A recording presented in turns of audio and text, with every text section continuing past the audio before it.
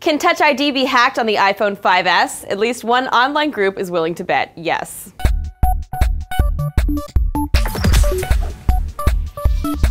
iOS users, now that you're all settled into your new operating system, maybe you're getting ready to throw down for that iPhone 5S. Aside from a new class of colors, of course, one of the most talked about features is the fingerprint sensor called Touch ID that lets you access your phone and make purchases through iTunes with a swipe of your fingerprint. Or paw print for that matter, as demonstrated in this video from TechCrunch. Yes, a cat can unlock it. But in any case, here's a quick refresher on how the sensor itself works. The sensor uses advanced capacitive touch to take, in essence, a high-resolution image of your fingerprint from the subepidermal layers of your skin.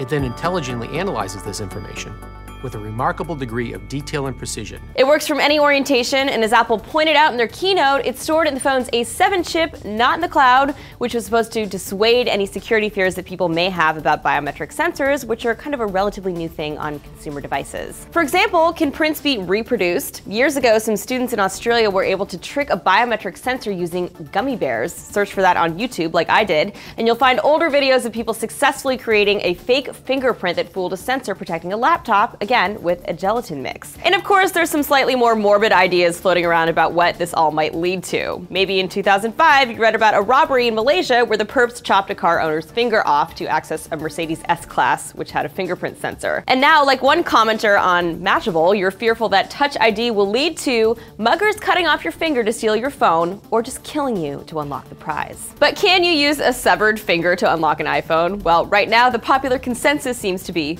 no. Apple, for their part, seems pretty confident that the level of precision involved in their 500 pi sensors will prevent any kind of fraud, whether that involves a dead person's finger or a super advanced mold of someone's unique print. But at least one group of hackers sounds equally confident that someone can find a way to crack it. A website called istouchidhackedyet.com is offering a bounty for anyone who can successfully trick Touch ID, requesting a video of the process from print, lift, reproductions, and successful unlock with reproduced print. Sounds like they won't pay out for dead fingers, in case you're wondering. As of this writing, the crowd-funded reward is up to several thousand, with people offering a minimum of 50 bucks, or in some cases, Bitcoin, or in other cases, bottles of booze, for successful hack. We'll leave the link in the show notes if you're interested. What do you think? Does Touch ID seem secure to you? Let us know your reaction in the comments, and don't forget to subscribe. And don't forget to tune in for Driven, also on the channel. Today, John reviews the 2014 Kia Cadenza. For TFN, this is Annie.